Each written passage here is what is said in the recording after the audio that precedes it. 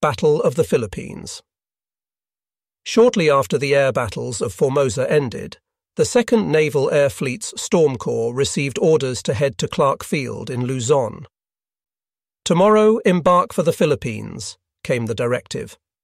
Other air groups were given the same ultimatum, but we went separately in several waves. Taking off on October 18th or 19, my squadron was in the second or third wave. The air bases in Taiwan had been hit badly in American attacks, and few Zeros were left in an operational state. It took some time to repair the damaged planes because there were no parts. We cannibalized hopelessly wrecked planes for duralumin plate and used it to patch bullet holes in the fuselage. The colour was different, making the mended Zeros look battle worn and tired.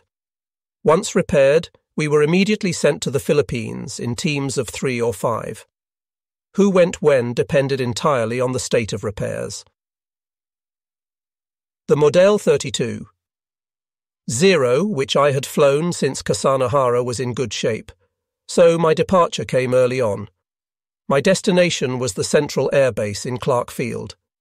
The Americans were already pounding bases in the Philippines, and we had to be careful about our time of arrival.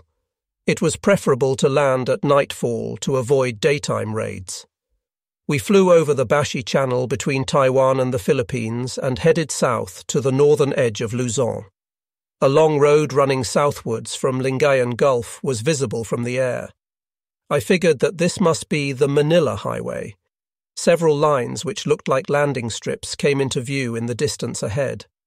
I counted nine in total as I approached, but couldn't tell if they were runways or just crofts. I soon realized that it was indeed the colossal Clark Field, albeit much shabbier than the fine bases in Taiwan. From appearances alone, my first impression was that it wasn't worthy of its repute as a great stronghold. It was truly massive, though. On the west side of the Manila Highway was a grass runway interspersed with white pavement. That was Clark's Central Air Base, the one we were bound for. I chose a line that looked to be in good condition for landing. Although Zeros had spring suspension, the landing felt heavy. The runway was originally made of concrete, but the surface was potholed and uneven because of shelling. The holes were filled with dirt, which soon became overgrown with weeds. I knew that I would have to be careful when landing from now on to avoid damaging my plane. I imagined before arriving that there would be underground shelters, given it was referred to as a fortress. The setup fell well short of my expectations with just a series of grassy landing strips. All of us were left somewhat disappointed. Aircraft parked on the grassy areas outside were always sitting ducks. There were some concrete shelters, but they could only house one fighter each. We kept our aircraft safe by hiding them in the bushes around Clark, covering them with branches cut from trees. This took time and planning. Nightly bombings, our quarters were originally built by the Americans in a forested area close to the western edge of the base. The building was raised off the ground with a small flight steps leading up to the entrance. It was spacious and very western. Notwithstanding, there were no beds or chairs, so we made our bedding on the floor with a few blankets and looked forward to sleeping soundly in our new home. This was never to be. From the very first night, we endured air raids by American bombers and were abruptly awoken by the furious sound of shells exploding close by. Frightened out of our wits, we grabbed our blankets and rushed down the steps to take shelter under a big tree. Even at midnight, American bombers could accurately target the runways and barracks from high in the sky. This was hardly surprising as Clark Field originally belonged to them. We thought it prudent to take cover some place far away from its facilities. We slept under that tree for the first night. I use the term loosely, and we were all dreadfully tired the next morning. The following night was not much better. Again, we fled the barracks and sought safety elsewhere. Some of the barracks were hit and burned to the ground. To the west of Clark Field was the Pinatubo volcano and Mount Arayat to the east. Arayat was not particularly high, but it was a beautiful mountain. We called it the Mount Fuji of Manila. Clark was sandwiched between these two mountains, we heard rumours that anti Japanese guerrillas were making bonfires halfway up the mountains to guide American bombers in their raids. The constant barrages and incessant worry prevented any hope of peaceful slumber. We relocated to another airfield to the south in the Clark network. Our new quarters were a small hike from the west side of the base. It was a shabby little cottage of the likes seen in comic books. It didn't take long before bombing commenced in this area as well, and again, we were forced to run for our lives in the dark of night. At times, we even slept under the wings of our Zeros. We reasoned that the pinging of bullets hitting metal would alert us to the need to bolt. It was virtually impossible to rest there as well. The bombings continued almost every day, but we had yet to see any American fighters in the skies overhead. This indicated to us that the American carriers were still quite a distance away from the Philippines. The Battle of Leyte Gulf Intelligence filtered through that the US fleet with its many carriers was approaching from the east of the Philippine Sea. It was coming to support a large body of troops led by General MacArthur, which had landed on Leyte Island in the mid east region of the Philippines. On October 23, 1944, bombers and fighters of the Imperial Japanese Navy's 2nd Naval Air Fleet made an all out attack on Leyte Gulf. I wasn't aware at the time, but the strike happened two days after the first Zero kamikaze suicide attack mission departed from Clark. Ours was not a suicide mission, but was a desperate foray all the same, involving more than 120 planes.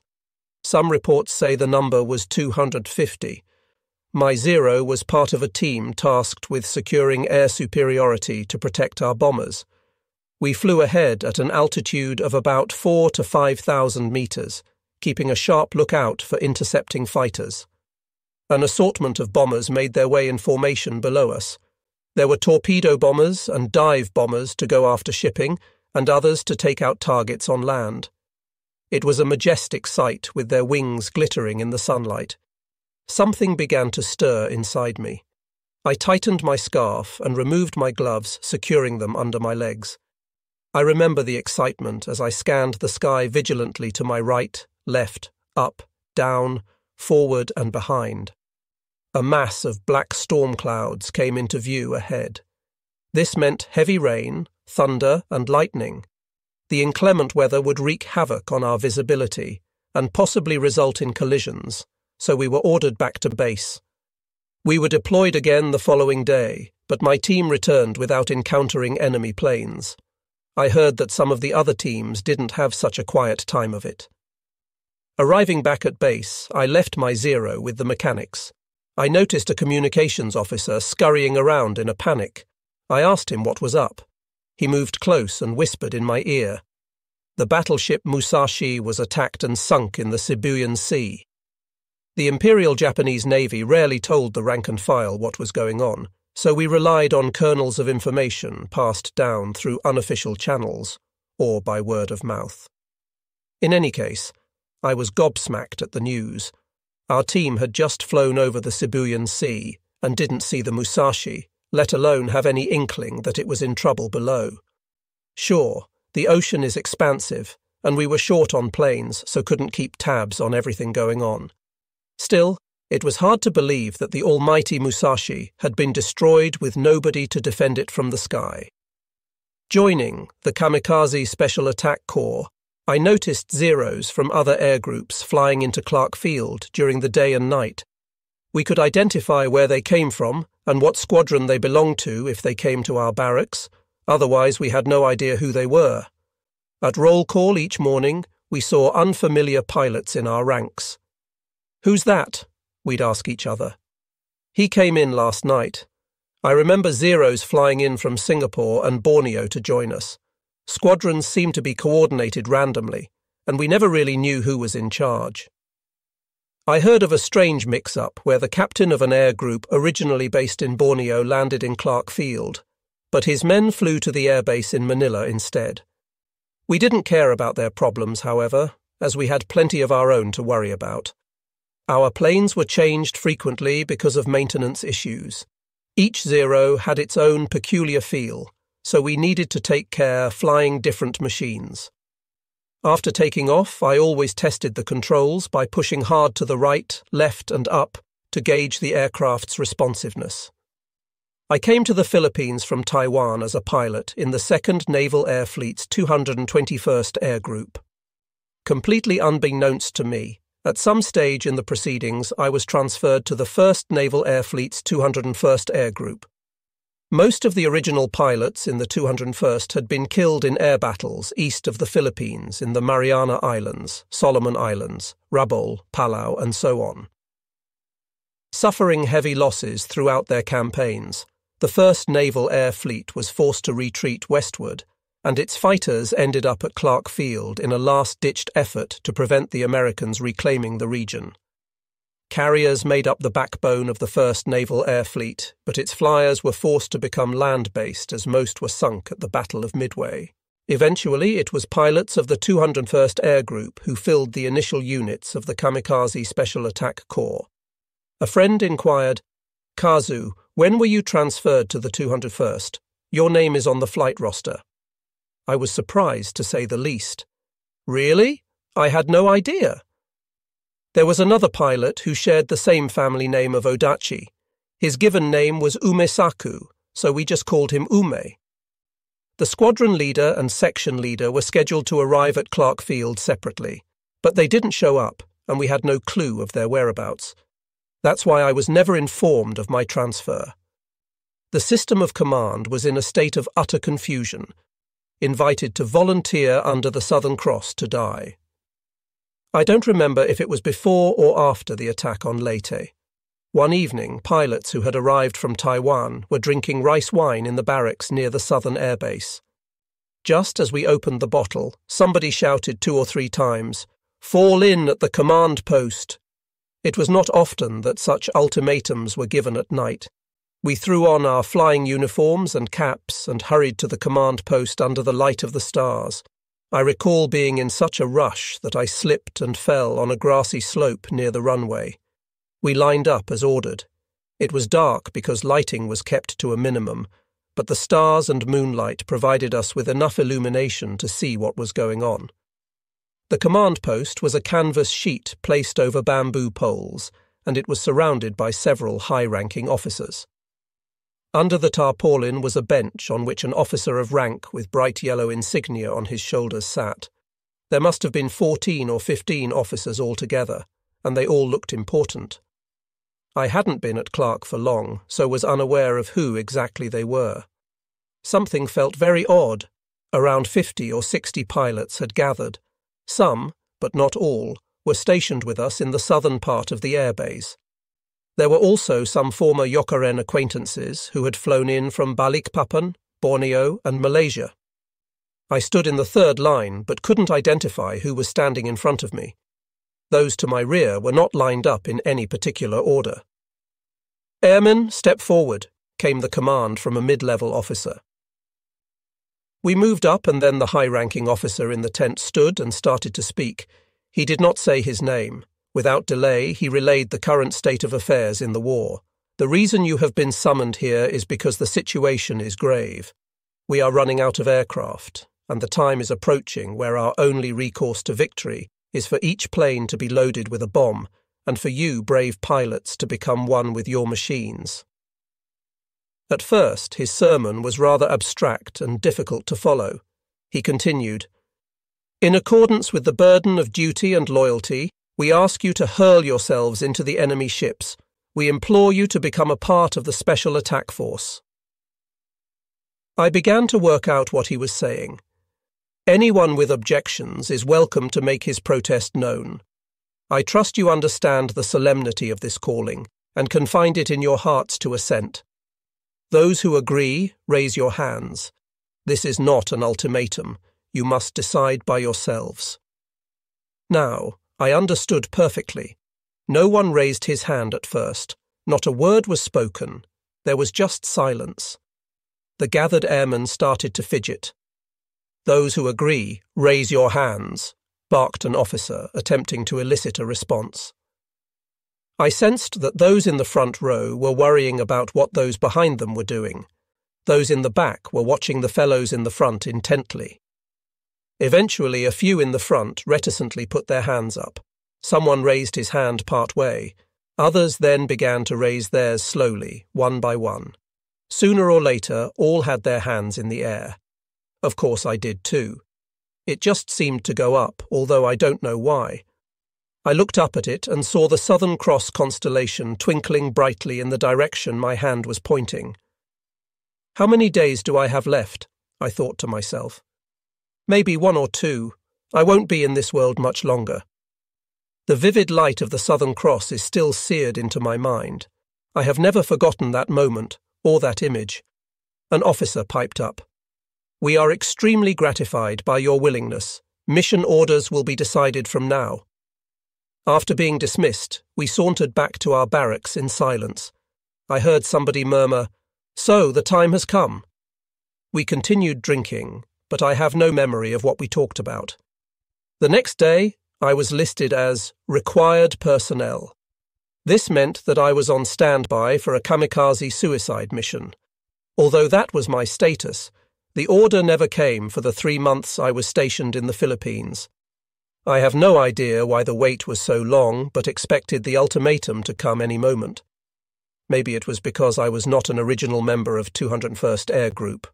Or maybe it was my age. I was only 17 at the time. On the night of the Southern Cross, we were asked if we were loyal enough to sacrifice our lives in suicide missions. None of us had the audacity to reject this volunteer proposal, even though we were told it was to be a personal decision. How could we possibly refuse? We were essentially cajoled into committing suicide. I am probably the last airman alive who can relay this story as it happened that night. To this day, I resent the way we were petitioned by our commanding officers as if we had a choice. Farewell, Shikishima brothers. Our second barrack also became the target of bombing, so we were moved again. The building was new and located near Mabalacat Airfield in Clark. One very hot day, we walked down the Manila Highway towards our new quarters. We were wearing our flying uniforms and formal shoes not suitable for hiking long distances. We also carried all our personal effects with us. After walking for a half an hour, we learned that some teams were about to embark on a suicide mission. We entered the Mabalacat airfield and made a line along the runway to bid them farewell. It was the Shikishima unit led by Lieutenant Yukio Seki. This was one of the first kamikaze special attack units appointed by Vice Admiral Onishi. They had volunteered a few days prior to this, and it was our first time to witness a kamikaze departure. It was not until after the war that I learned the exact date the morning of October 25th, 1944. The Zeros were lugging bombs under their fuselages and took off with escort fighters to assist them through to their targets. I waved my cap as they sped down the runway, knowing in my heart that I would be getting a similar send off before long. I had just witnessed the departure of the Shikishima unit in what was to be the first successful kamikaze attack. As it happens, I was destined to be in the very last team to depart on a suicide mission on August 15, 1945. In the space of ten months, I existed on the precipice of life and death in the Special Attack Corps. After watching the Shikishima team fly off into the distance, we continued walking to our new barracks. They were shacks made of bamboo with makeshift roofs of palm leaves. The split bamboo floor was raised about one metre off the ground, and there was barely enough space to house four pilots. We made use of the blankets kindly left for us by the Americans, but the bamboo floor was uncomfortable. Adding to our discomfort was the perpetual fear of anti Japanese guerrillas sneaking under the floor and stabbing us through the openings as we slept. We did have guards at the base, but there was good reason to be paranoid at this volatile time. Word that the Shikishima boys had accomplished their mission reached us that day. The escort Zeros reported that one of the kamikazes smashed into an American carrier. The direct hit was initially reported to the commander in Cebu, and this was in turn relayed to Clark Field by radio. It didn't take long for the news to spread throughout the massive, sprawling base. We weren't sure, but heard that one American carrier had been destroyed and another carrier and cruiser had been crippled by the attacks. We were ecstatic. They did it! I will too, Give me a carrier to smash into. Securing bombs with rope, in the early days of the kamikaze attacks, assignment teams consisted of pilots originally affiliated to the 201st Air Group, although there were a few from the 221st Air Group as well. One of them was a flight petty officer second class who we called Mr. K. I saw him lining up before embarking on his mission and was surprised to see him. Even more surprising was the sight of a 250 kilo bomb secured to his Zero's undercarriage with rope. Zeros were originally not meant to carry bombs. In some cases, they were fastened with wire onto hooks designed to connect supplemental gasoline tanks. In normal circumstances, the ordnance was attached to clasps for the simple reason that the kamikaze could ditch it if intercepted by a Hellcat. Bombs were jettisoned over the sea to prevent exploding on landing if the Zero couldn't find a target and had to return to base. This was not an option if the bomb was fastened with wire. It was incredibly dangerous, and we were lost for words when we saw it. We waved our caps to send the boys off. Before long, Mr. K's Zero returned to base on its own. I figured that he must have had engine trouble, with the bomb secured as it was, I held my breath, expecting the worst as he came in to land. Fortunately, it was a textbook landing and the bomb didn't detonate. Like a man possessed, Mr. K jumped out of the cockpit and yelled for another plane, ordering the maintenance crew to reattach the bomb. It seemed that his only thought was to somehow perish this day. An officer from the command post appeared and instructed Mr. K to forego his mission. He replied, I promised my friends last night that we'd die together. I can't possibly live alone. I understood what he meant. He waited impatiently for 15 minutes while the bomb was transferred to another zero. Once ready, he tucked his scarf in again, hopped into the cockpit, and started his engine. With a quick salute to acknowledge us, he took off for the last time. Mr. K was from the Yokaren C class, in which cadets were selected from Navy ranks. He was one or two years older than me and was always smiling. A 221st Airman, he probably arrived in the Philippines a little earlier than me, but I still wondered why he was selected for a suicide mission so soon. Following repairs, our 221st Storm Corps came to the Philippines independently of the other squadrons. It was not clear who our commander was when we arrived. This was the case for many other aviators stationed around the Philippines. There were not many Zeros left in the 201st Air Group by now, so more airmen had likely been called in from Taiwan. Due to incessant confusion in the chain of command, it was hardly surprising that 201st Airmen assumed that all Zeros now arriving in the Philippines were there to bolster their numbers in suicide missions. I had nothing but admiration for Mr. K, seeing his determination to die with his new comrades. Still, Mr. K's name is nowhere to be found in the official list of kamikaze pilot casualties. Those who died in suicide attacks were posthumously promoted two ranks, but this honour was not bestowed upon Mr. K for some reason.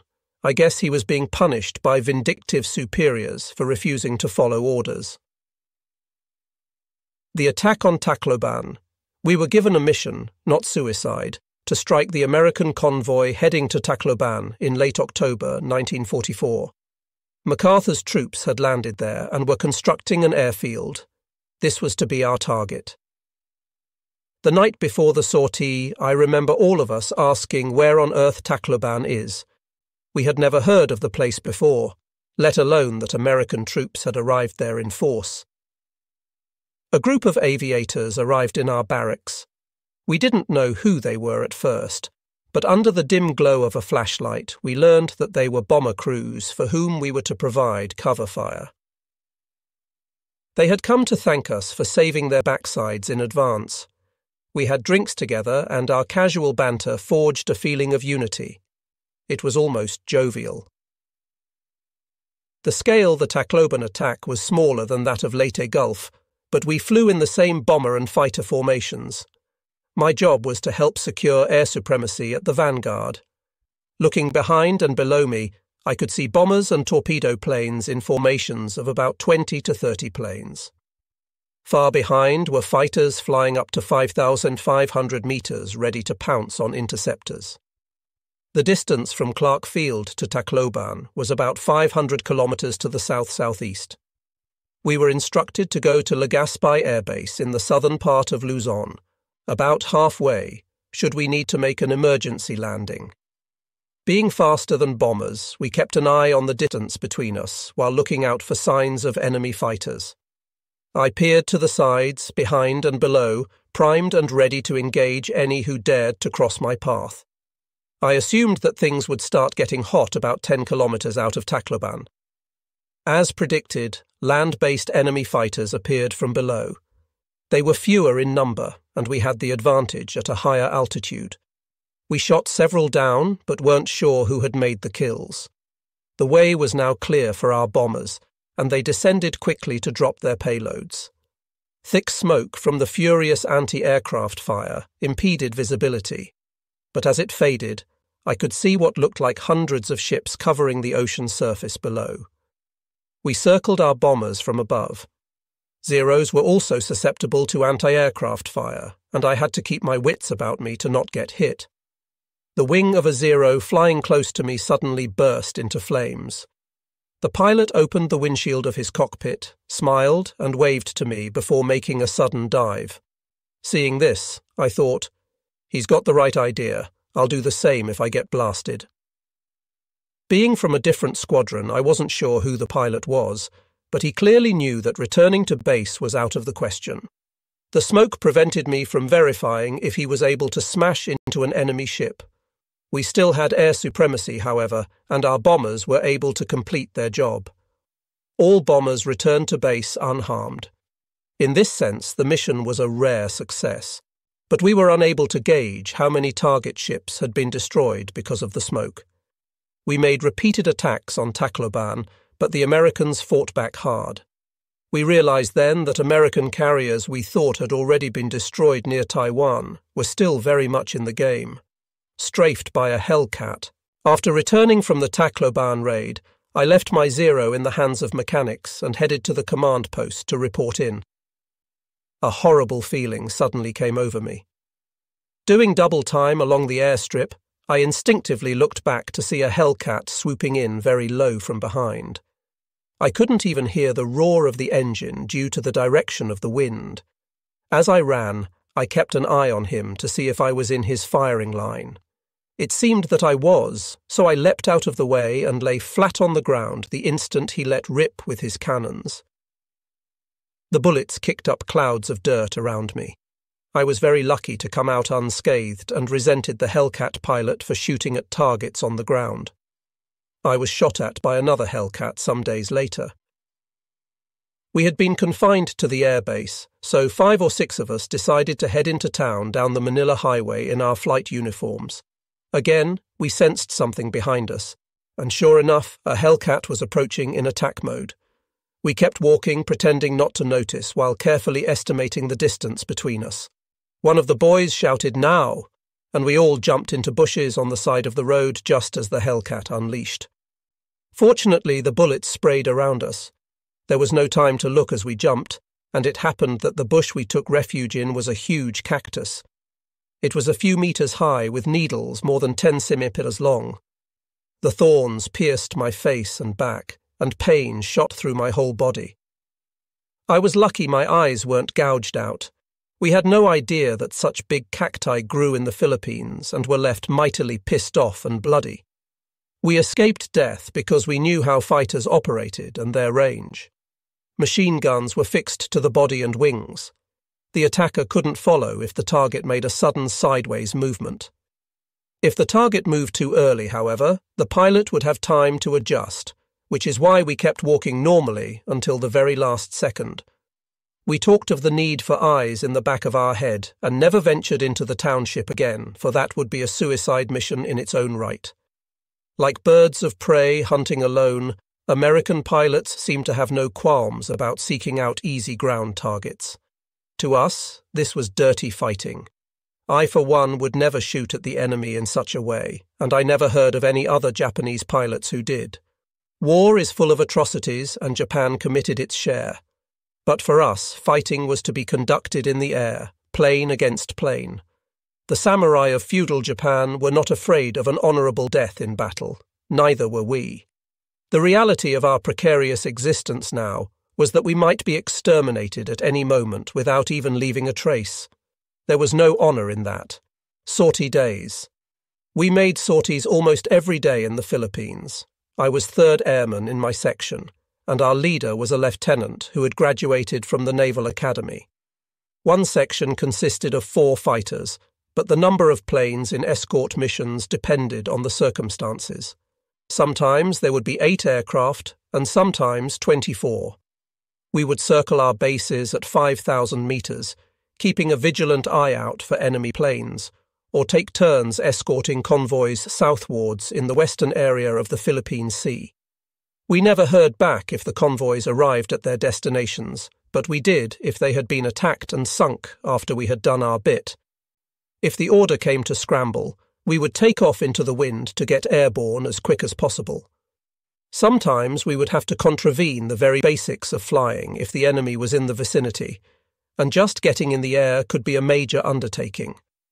One time, when we received information that Americans were coming to attack our bases, we scrambled our Zeros and headed to the west coast over Pinatubo volcano.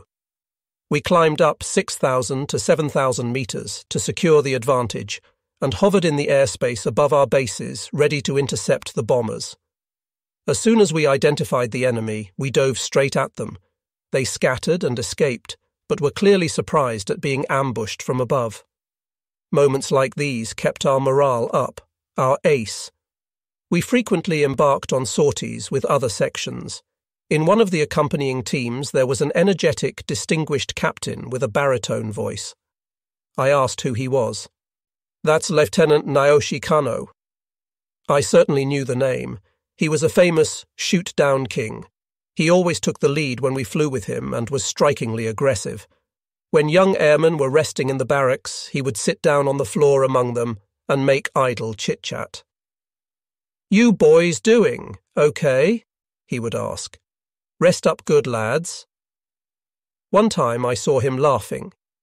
You screwed up because he would teach junior pilots with humour and good cheer, and the younger airmen would gather around him with bottles of cider as if they hadn't a care in the world. I never had a chance to talk to him directly, but he reminded me of the famous samurai hero Isami Kondo of the Shinsengumi. I really wished to be a part of his team. Among all the Naval Academy graduates, his star shone the brightest lost zeros. American bombings intensified, and we were attacked several times throughout the day and night.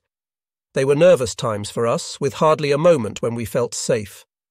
The difference between the might of America and Japan was never clearer. We tried to conceal as many planes as we could in shelters, but were forced to hide many more in the forest under makeshift coverings of leaves. It was difficult to hide them all, and we had to leave some beside the runway, which meant that they were doomed. After each raid, we rushed over to check on our planes. Having been at Clark Field longer than the other pilots, my Zero survived the bombardments because I knew the best spots to hide it. Without the advantage of local knowledge, aircraft belonging to latecomers inevitably became sitting ducks. The attrition of operational planes meant that a fair few airmen were without rides. This in turn led to a change in mood in our squadron, as it reduced the likelihood of being selected for suicide missions. Whose turn is it for the next sortie? Must be the teams from Borneo or Singapore because they haven't done much of late. The fact that such words escaped our lips was a sign that we were losing our resolve to make that last suicide mission. In fact, any kind of mission was out of the question before long, because all our zeros were wiped out in the bombings, I was constantly drenched in sweat because of the climate, but there were no baths or showers to rinse away the grime. Not once did I have a real shower in three and a half months in the Philippines. We all stunk to high heaven and were constantly plagued by itches because of scabies. There was no medicine to relieve us of the discomfort. One time we decided to tempt fate and bathe in a nearby river during a lull in the bombings. We immersed ourselves in turns, thinking it unwise to all go in together. Ignoring the buffaloes soaking in the muddy water close by, we washed ourselves as quickly as we could. It was only ten minutes or so, but it felt so very good. I had not shaved or cut my hair and looked like a wild mountain man. Some cut their beards unevenly with scissors, but this made them look even more scraggly. Rarely could we even wash our underwear. We just threw them away and made fresh pairs out of old hand towels. Mr. Takeo Shinmyo. There was a distinguished reporter from the Mainichi Daily News in Clark Field. His name was Takeo Shinmyo. Mr. Shinmyo followed us around throughout the day, taking photographs and looking for stories. We became quite friendly with him. He was a kindly man who could connect with the airmen and proffered insights that most of us were oblivious to. He was very attuned to what was going on around him and had the lowdown on all the crews. He was a useful source of information. Being much older than us, Mr. Shinmyo became a surrogate father figure, and we felt at ease opening up to him when he joined us for drinks in our barracks.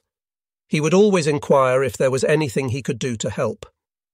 If you need me to pass on something to your families, anybody assigned a suicide mission would go and see dear old Mr. Shinmyo. I will depart on my last mission tomorrow. So long, Shinmyo san.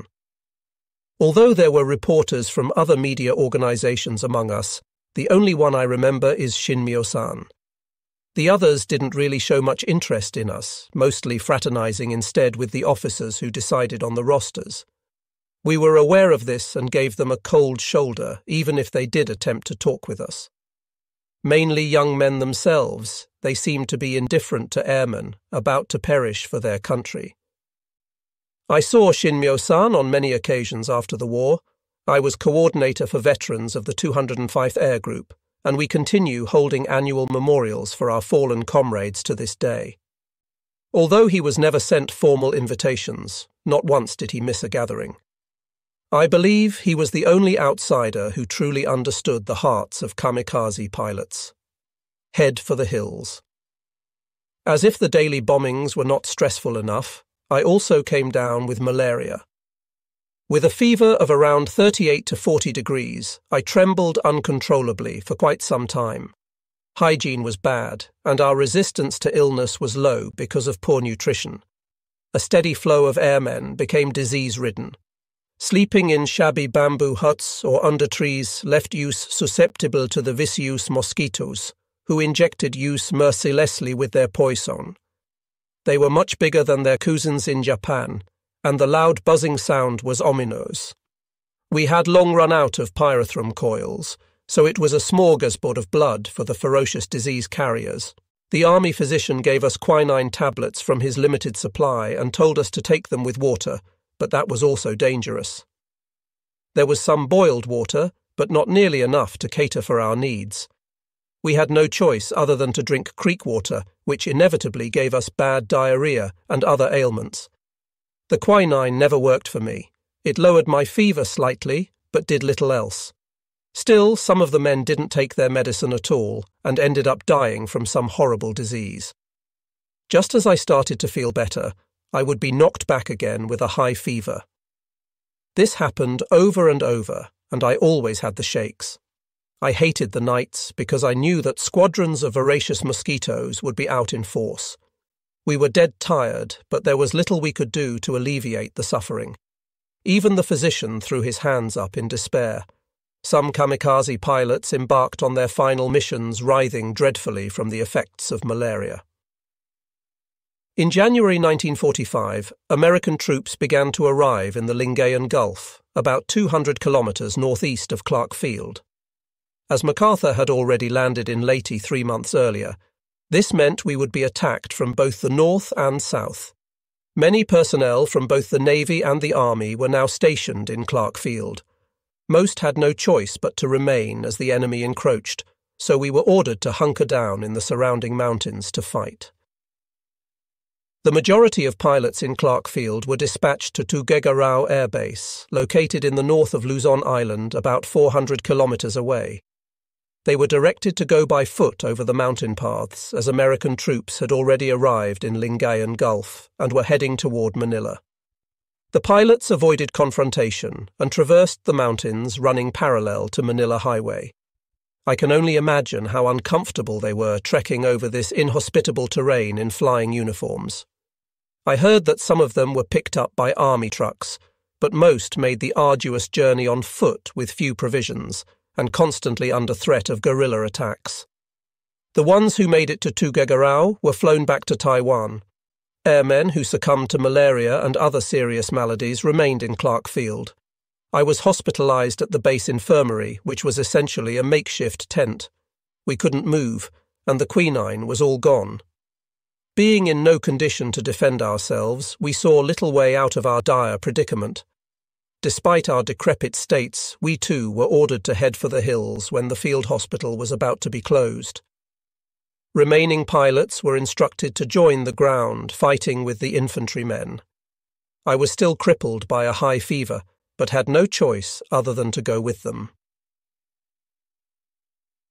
It was mid January 1945. We headed to Pinatubo Mountain west of Clark Field, where a temporary relief facility was set up. Maintenance crew members who had malaria were there also. In all, there were about 20 of us and I sensed that we were sent there to try and recover rather than gear up to repel the Americans. After all, we wouldn't have been able to put up much of a fight. After orders to head for the hills were issued, planeless airmen became the target of bullying by other soldiers. Maintenance crew and army men were bitter about the high and mighty pilots and made us carry the supplies. Otherwise, you can go ahead and starve for all we care. They made all the pilots lug heavy bags of rice weighing almost 60 kilograms each, even the ones suffering from malaria. We weren't used to such heavy lifting, and ascending the narrow mountain path was a grueling affair. With no leeway for personal effects, the only other thing I carried was my pistol and a handful of bullets. Mount Pinatubo was covered in thick volcanic rock. It was steep and overlaid with jungle. We climbed a little, rested, climbed a little, rested again. I had a splitting headache and broke into a cold sweat. Totally dejected by this stage, I wondered how many days I had left in me. We were literally on a knife's edge and staring death in the face. I felt utterly defeated. Somehow, we managed to climb up to around 600 metres, but certainly didn't feel any safer, and the sadistic mosquitoes were as ubiquitous as ever. We cut bamboo and laid the branches between rocks to sleep on. All we could do was sleep and eat boiled rice mixed with wheat or other kinds of grain. Our cheeks sunk, our hair and beards were unkempt, but our eyes were still surprisingly sharp. The younger volunteer soldiers were relatively energetic, but the older men in their 30s or 40s were completely sapped. As time passed, order among the men started to crumble. We didn't really know who was in charge and couldn't operate as an effective combat unit. Amidst the chaos, it was the cooks who wielded the most power as they controlled the food and provisions. It looked as if they were looking after themselves first and giving us the leftovers. Even the cooks, who had always been kind to us, had completely changed in demeanour. One of them came over and said, You pilots were always arrogant bastards when you had your planes, but you're nothing without them. You're only getting half rations. Some ground crew personnel tried to stand up for us, but others treated us as if we were the enemy. Machine guns, which had been removed from planes, were set up among the rocks. The problem was that there was little ammunition. The army men had rifles, but maintenance and catering personnel carried nothing to fight with except their spanners, rice spatulas. The pistols that pilots carried were 1939 models, and each of us was issued with two in case we had to fight after crash landing. They had long barrels and were fairly accurate. I inserted them on either side of my belt and kept the bullets in my pocket. More than shooting the enemy, those pistols were useful for hunting birds or animals for food. Wild boars were abundant in the mountains and they made for good tucker. The possibility of having to fight Americans was always in the back of my mind but I didn't think about the consequences if all my bullets were spent getting food. It was impossible to predict what was in store, but if I was going to die in this accursed war, I just wished it was in the air, not in the mud. The narrowest of escapes. Communication soldiers were neutral to us and provided information. Almost two weeks after taking cover in the mountains, one of the communications officers came to me with some new intel. All airmen were to be transferred to Taiwan. The last transport plane was scheduled to arrive in a few days at midnight. News that only pilots would be flown out reached the ears of the other troops. A strange, almost hostile mood came over them. You'll get fed well in Taiwan. You don't need any of our grub. Leave your guns as well. We weren't sure whether the evacuation planes would make it to our location. If we gave them our revolvers, we would have no weapons to defend ourselves. We ignored them but did leave the blankets we inherited from the Americans. In the end, there was no trouble. We felt awkward as we left, and I really hoped that they would escape from the shitstorm that was coming. I knew this was wishful thinking. We were told to wait at the Middle Air Base in Clark Field for a transporter scheduled to arrive at a specified time. The lift out was arranged to take place in three days, and 15 to 20 of us headed down the mountain with a supply of rice. We hid in a small hut on the west side of the airbase during the day so as not to be made by guerrillas. Late in the evening, we walked toward the airbase and found a spot to dig a hole in the ground to start a fire and boil our rice. Surrounding our fire pit with a large cloth to hide the flames, we filled up on the rice in what was the first decent meal we'd had for some time. The leftovers were made into rice balls for later, and we hid there for a couple more days until the plane arrived. With the stars and moon shining brightly, the night of our evacuation was not particularly dark. Still, with no guiding lights on the runway, the plane would have to make its landing relying on the natural luminosity, but this would require considerable skill.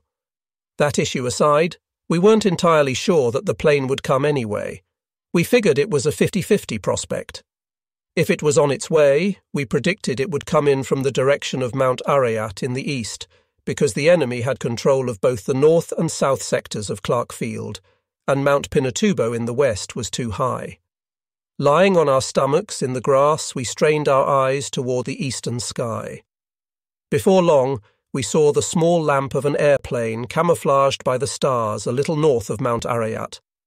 Lights on both edges of its main wings were boldly lit up, and it headed to the south route as it approached the runway. As the sound of engine became audible, someone piped up and said, That sounds like a Douglas. The Douglas C 47 was a dual engine transport aircraft which Japan had imported from the United States before the war. It was not armed, so if we were spotted by the enemy, there would be no way out. We were in a state of disbelief. They really came, we all said in hushed voices. The lackluster drone of C 47 engine was nothing to get excited about normally, but it was music to our ears at the time it was sure as hell better than the death scream of an enemy fighter. The Middle Air Base in Clark Field was located directly to the west of Manila Highway. The plane flew very low and touched down on the landing strip. It reduced speed and stopped on the western edge, raising a big cloud of dust as it came to a halt. We bolted towards it as fast as our legs would carry us. The left hatch was opened and somebody inside was screaming at us to hurry up. We jumped in one at a time, raising more dust.